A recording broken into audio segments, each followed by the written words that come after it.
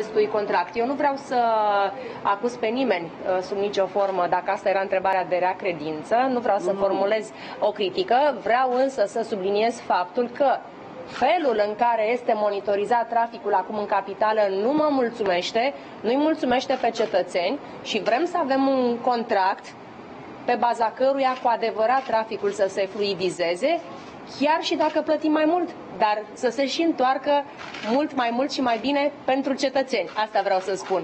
Și cred că acest lucru se poate întâmpla numai printr-o discuție și o negociere între Primăria Capitalei, prin administrația străzilor și reprezentanții companiei, tocmai pentru a îmbunătăți acest uh, contract.